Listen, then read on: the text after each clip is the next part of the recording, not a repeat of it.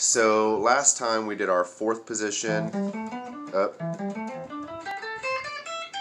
And then today we talked about how the 12th fret, it marks the octave above the open strings, right?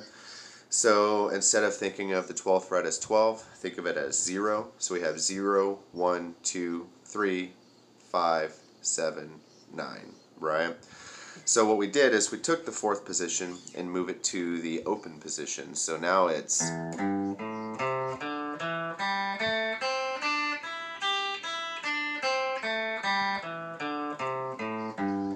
right? And then that allowed us to connect the fifth position to from the fourth to the first position. So fifth position starting on G is going to go G, A, C, D, E, G, A, C, D. Yeah, E, no, no, D, E, G, A, right? So it's a 3 5, 3 5, 2 5, 2 5, 3 5, 3 5.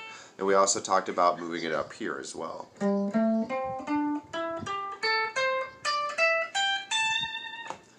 That's it.